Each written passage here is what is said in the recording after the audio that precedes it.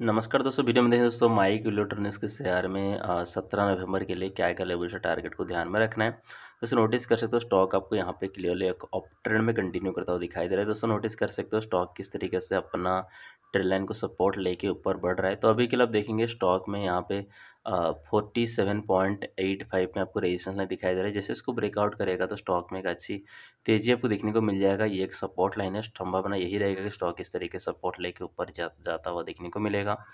mic electronics के share में अगर बात करें कि नियरेस्ट में क्या क्या लेवल से टारगेट को ध्यान में रखना चाहिए तो आपको दिखाई दे रहा है सपोर्ट लाइन रहेगा थर्टी सेवन पॉइंट नाइन में और एक रहेगा यहाँ पे रेजिस्टेंस में thirty nine point six zero और एक रहेगा दोस्तों यहाँ पे फोर्टी वन में राइट तो दोस्तों, अगर बात करें यहाँ पे फोर्टी थ्री में रहेगा रेजिस्टेंस लाइन और सपोर्ट लाइन दोस्तों ये एक है, दूसरा सपोर्ट लाइन यहाँ पे देखने को मिल जाएगा thirty five point three zero